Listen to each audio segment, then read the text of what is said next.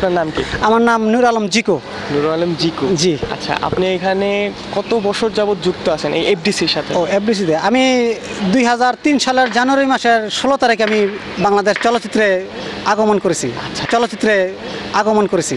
আমার দুঃখ এটাই আমি বাংলাদেশ চলচ্চিত্রে যখন আসি তখন তো আমার বারো বছরের উপর পার হয়ে গেছে। তারপর একটা মনের একটা আবেগ টানে আমি প্রতি সপ্তাহে এফডিসিতে আসি। কাজ আমার নাই থাক তারপর আমি বাংলাদেশ চলচ্চিত্রে comedy king comedy king comedy king Ziko হতে চাই।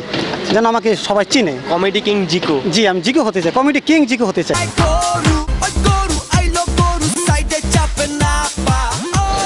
হ্যালো এভরিওয়ান, আমি আছি আফাত আর প্রতিদিনের মতো আজকেও আমরা ঘুরতে এসেছি, আজকে আমরা ঘুরতে এসেছি এফডিসি সো বাংলাদেশ সিনেমা হলের, বাংলাদেশ সিনেমা হল কেন?